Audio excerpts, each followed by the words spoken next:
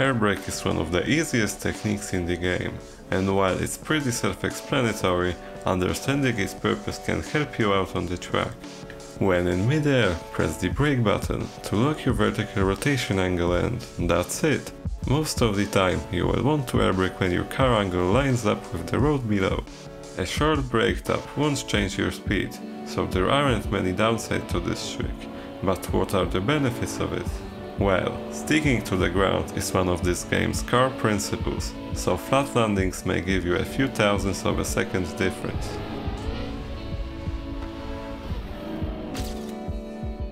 Other than that, awkward landings may disturb your racing line, for example, by delaying your ability to perform a drift.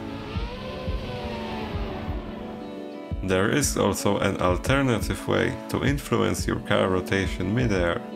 When jumping with your car angled to a side, counter steer to the opposite direction to lock your sideways rotation angle.